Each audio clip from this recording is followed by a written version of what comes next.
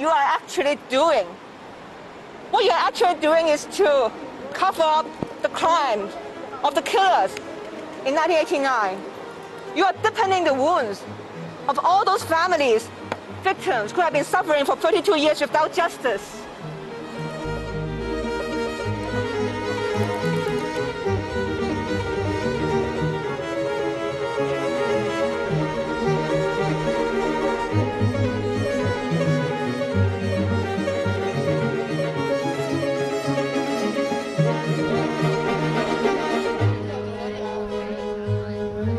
Join us in the world's biggest human rights event, Write for Rights.